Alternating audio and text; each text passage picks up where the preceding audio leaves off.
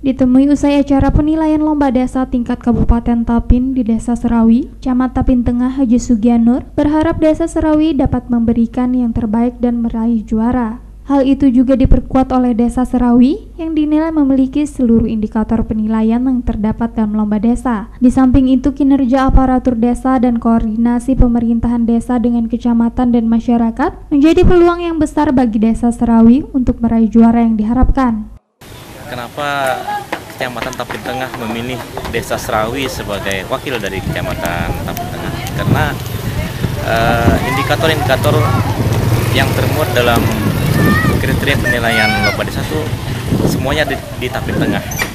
Masyarakat dengan uh, sukarela bergotong royong untuk penguatan kelembagaan dan uh, pemberdayaan masyarakat. Jadi uh, kinerja aparatur pemerintah sangat jelas terlihat bahwa dalam persiapan lomba desa ini aparatur pemerintah desa dan masyarakatnya secara sukarela bergotong royong untuk uh, menghadapi persiapan lomba desa ini. Jadi Serawi adalah termasuk salah satu desa yang kita anggap mewakili semua indikator yang bisa dinilai oleh tim penilai dari kabupaten.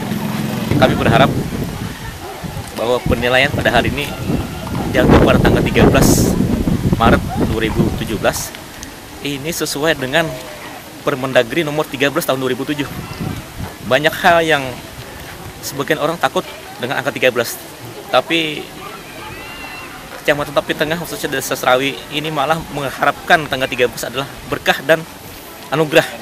Mudah-mudahan kami mendapatkan yang terbaik Selain itu, melalui adanya lomba desa kali ini juga diharapkan dapat menjadikan desa Serawi Kecamatan Tapin Tengah sebagai desa yang lebih maju dan berkembang serta unggul di berbagai bidang pembangunannya. Amrullah Tapin TV